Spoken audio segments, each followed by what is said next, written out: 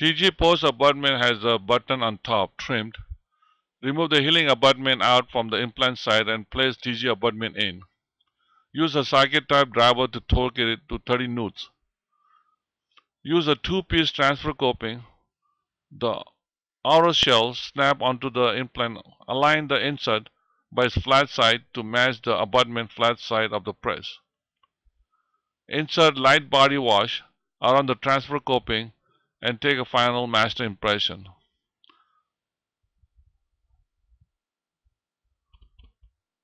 Separate the impression tray.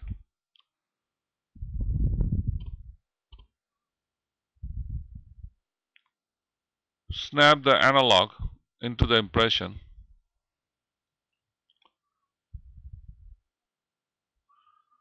Use a pink silicone for gum tissue and pour the marrow.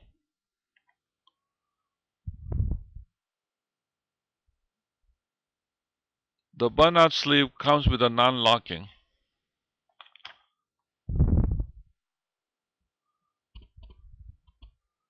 Mill the soft utility rope type wax and place it on the flat side of the analog.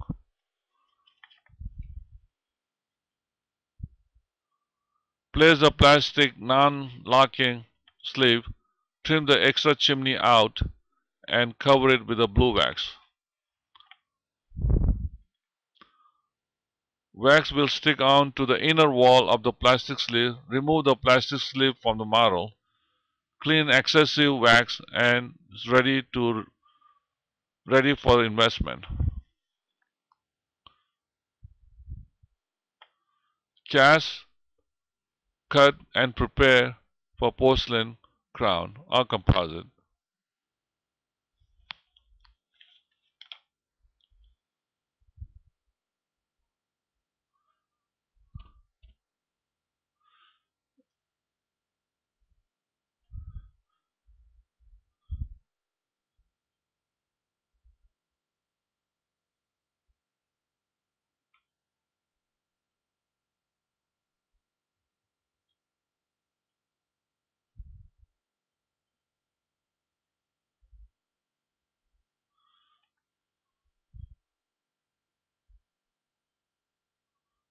Now is ready to cement for the final restoration.